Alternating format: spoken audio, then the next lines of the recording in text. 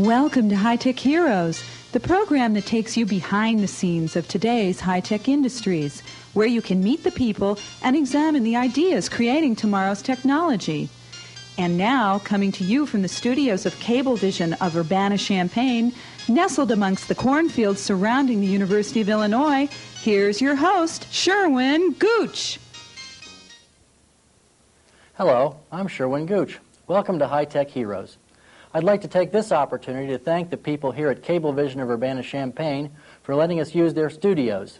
Without their help, we wouldn't be able to make this program.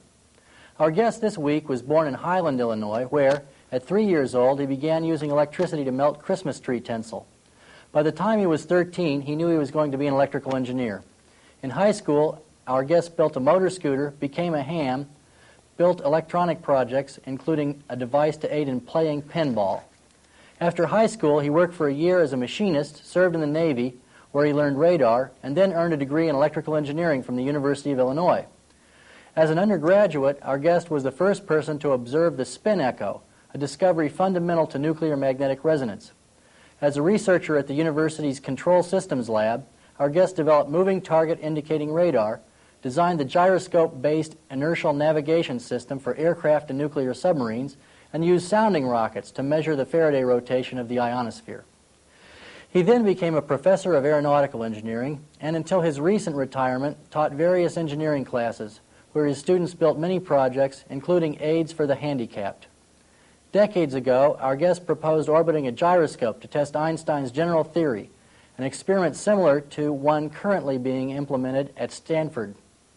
Our guest's hobbies have included photography, flying, cabinet making, and even being a mechanic for a stock car. He's currently operating a sawmill, which he designed and built from scratch. I'd now like to welcome to our program an all around engineer who, once while trying to focus on an elephant in a parade, stepped backward off of a bridge and then took a picture of the bottom of the bridge to prove it.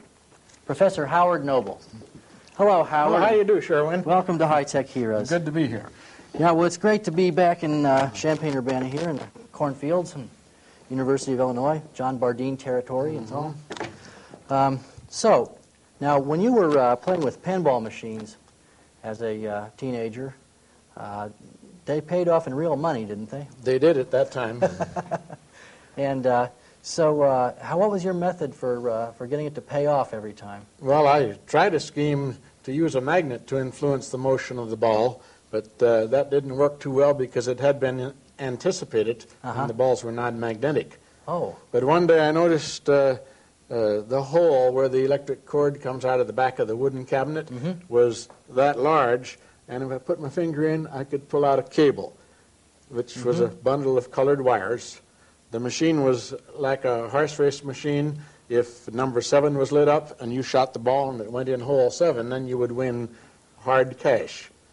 Well, the that's great. Well, go ahead. the numbers on the backboard of the machine were colored, and on this cable were corresponding colors. Mhm. And I discovered that if uh, number three lit up and the ball rolled into number five, and number three was green, I find the green wire, and number five was uh, maybe blue, I find Blue, the blue yeah. wire. I could cut my pocket knife across those two wires, join them together. Then both three and five would light up, and the pay counter would run. So they both would be winners, and of course, uh, and the ball was you're already, already in one, one of the winners. That's right. Well, that was that's uh, that's a good uh, use of technology, I guess, when you're young. Um, now, how was it that you came to be the first person to observe the spin echo effect? Well, I was a technician working on the research project, and I'd built all of the equipment. We were measuring Bloch decay, which is an, an emission which comes from the spin echo after having been pulsed with an intense radio frequency pulse. Right. So it's sort of an exponential decay after you line That's up all right. the axes. And, Yeah. and just by chance, I was making this test fairly frequently, and I noticed if I pulsed it once and then pulsed it again, at an equal time later, there was a signal appearing on the oscilloscope. So you were basically just playing with the equipment, and you you pulsed it a couple that. of That's times, and correct. Noticed another pulse downstream, mm-hmm. and and uh, you didn't think that came from the No, equipment. well, there couldn't be anything in the equipment that would have that long a time constant. So so uh, the, uh, the other researcher was really perplexed. He thought it would be the equipment, and it took him Mm-hmm. several weeks to come up with an explanation, but uh, it finally led to a publication. Right, and so that's I think that's what they use in uh, MRI imaging or you know magnetic resonance imaging all the time now. Yes. Uh, so um, now after that, I guess uh, we we're going to skip through the uh, radar stuff to the gyro. Now you brought some of the old gyro models here. It looks like. So how did this uh, how did this stuff The- work? The, the electric uh, vacuum gyro was uh, uh, conceived by Professor Arnold Nordsieck uh, back in the very early 50s as a solution to the Navy's proposed nuclear submarine. Mm-hmm. Now, we already had inertial navigation systems that would run accurately for quite a few hours. Right. But the idea of the nuclear submarine was to stay submerged for weeks or months and then come up unexpectedly and have sufficiently accurate navigation information that the missile could be fired. Or a torpedo, I suppose. Whatever. Well, uh, they were already thinking missiles at that Uh-huh, time. uh-huh.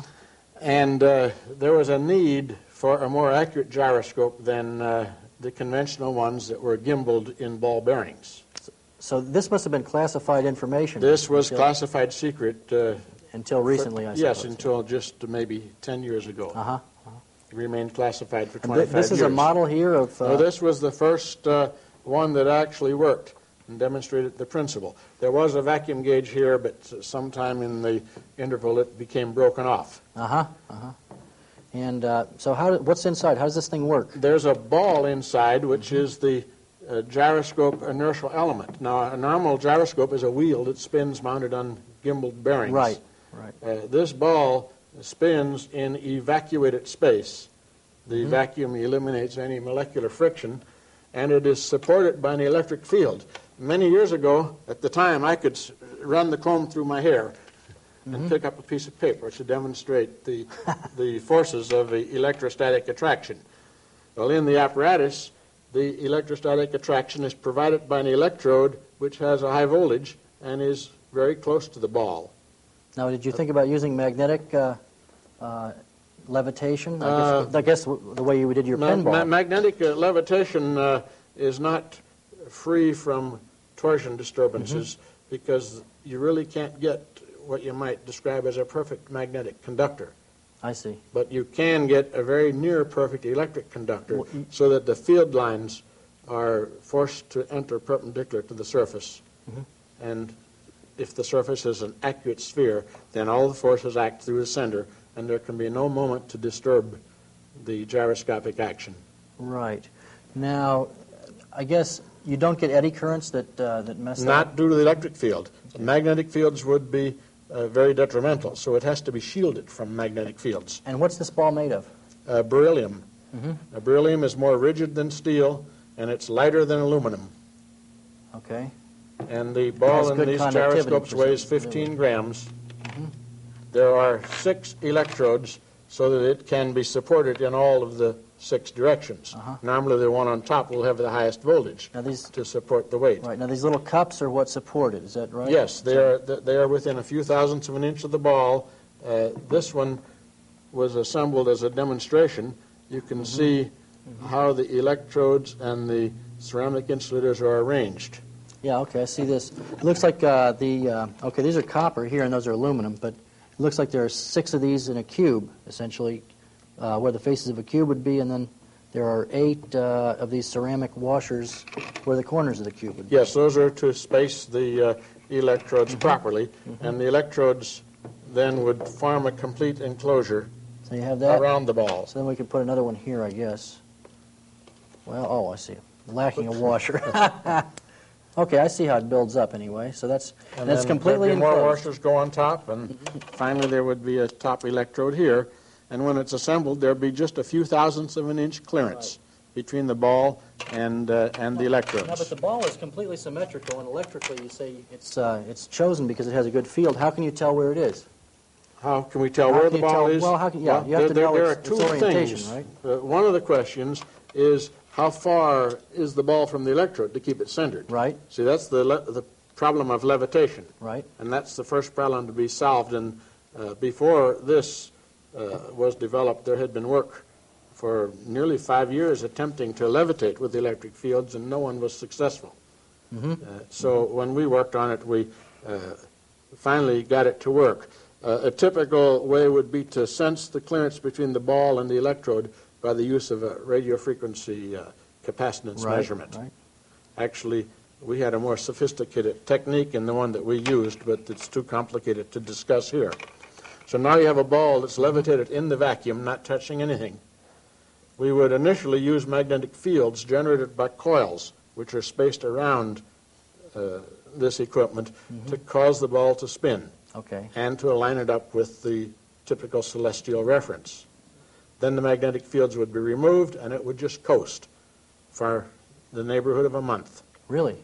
Now, during that time, we have to be able to measure the direction of it. If you look carefully here, you might see just a little bit of a zigzag pattern. Mm-hmm. Uh, Uh, yeah, I guess if they really zoomed in on this, on this hole here, you see it. Ah, I don't think the lighting is good enough. Well, here's a pictorial representation here. Okay, on the, on the real gyroscope, four microscopes look through these four sapphire windows Mhm. at the surface of the ball. And on the surface is something like this. On, on this drawing, we see a zigzag pattern which is uh, colored on the spherical surface. And if the microscope is looking at the center of the pattern, Mhm. we get only second harmonics of the pattern periodicity, and there is no fundamental component. If the microscope is scanning through other than the center of the pattern, then the waveform looking like this contains a fundamental component, and that fundamental component enables the data processor to know which way to move the gimbal which carries the housing so that the housing is always accurately aligned with the inertial axis or spin axis of the I ball see. itself And then you read out the actually the orientation of the housing. from, from accurate uh, uh, equipment there, yes. Well, that's great. Well, we have to take a break now, but um, Howard's going to show us his current project, uh, a sawmill that he built, uh, right after this message. Kareem, we'll never see eye to eye on anything. Don't be so short-sighted. We can both see that space research benefits everyone. Oh, like the scratch-proof lens developed for the Apollo space camera? That same technology led to scratch-proof eyeglasses, sunglasses. And even goggles. You wouldn't need those if your horse was always in front. That's a tall order. What we're learning up there, Is helping us all down here. space technology.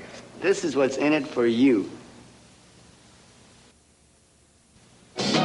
Wake up all the teachers, time to teach a new way. Maybe then they'll listen to what you have to say. The power of teaching. World won't get no better if we're just The power to wake up young minds. The power to wake up the world. Teachers have that power. Reach for the power. Teach. I'm Edward James Olmos, and we're recruiting new teachers. Call 1 800 45 TEACH.